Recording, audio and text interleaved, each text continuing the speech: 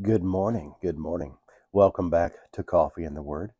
Grace and peace to you from God our Father and the Lord Jesus Christ. I hope and pray that you're all doing well this morning. I am not. Uh, just got a little rundown and just kind of taking it easy this morning because I'm tired. So no, I was I was hitting the workouts pretty hard this past week and uh, uh, just lack of sleep and just trying to keep up with work and all that stuff. I'm just just a little tired.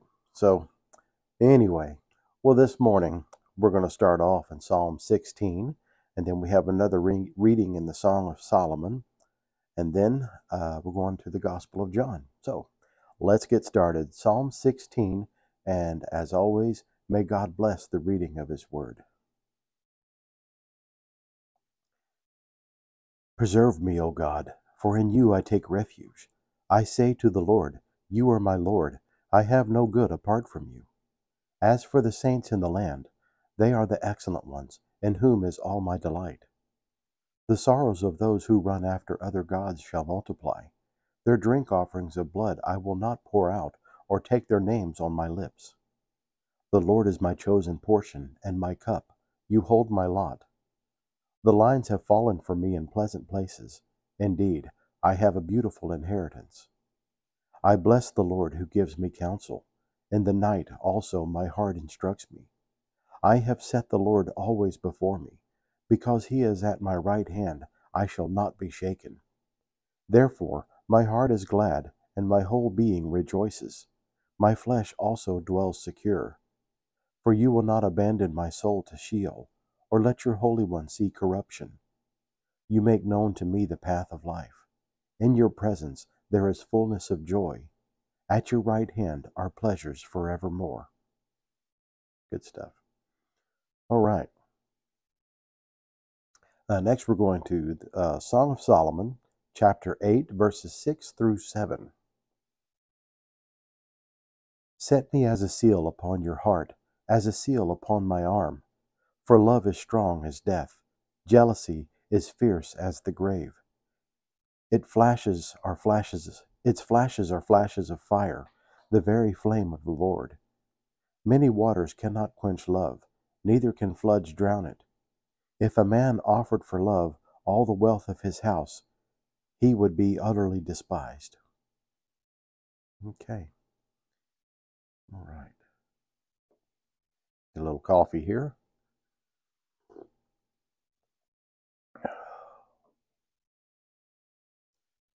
All right. Uh, going to the Gospel of John, chapter 20, verses 11 through 20. And this is where Jesus appears to Mary Magdalene. But Mary stood weeping outside the tomb. And as she wept, she stooped to look into the tomb. And she saw two angels in white sitting where the body of Jesus had lain, one at the head and one at the feet. They said to her, Woman, why are you weeping? She said to them, They have taken away my Lord, and I do not know where they have laid him. Having said this, she turned around and saw Jesus standing, but she did not know it was Jesus. Jesus said to her, Woman, why are you weeping? Whom are you seeking? Supposing him to be the gardener, she said to him, Sir, if you have carried him away, tell me where you have laid him, and I will take him away. And Jesus said to her, Mary. She turned and said to him in Aramaic, Rabboni, which means teacher. Jesus said to her, Do not cling to me, for I have not yet ascended to the Father, but go to my brothers and say to them, I am ascending to my Father and your Father, to my God and your God.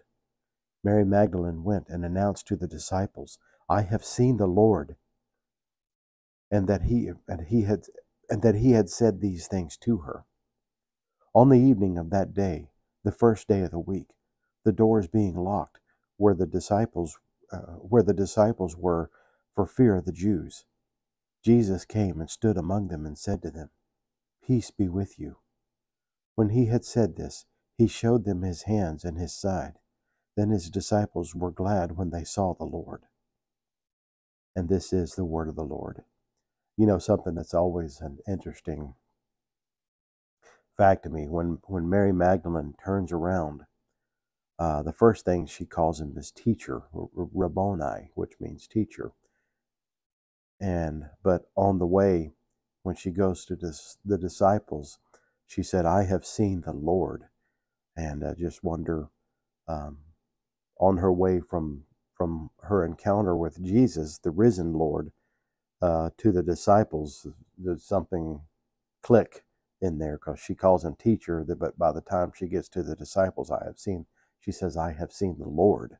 And, uh, ah, oh well. All right. Let's go to the Pray Now app and I'll read the prayer of the day. Let us pray.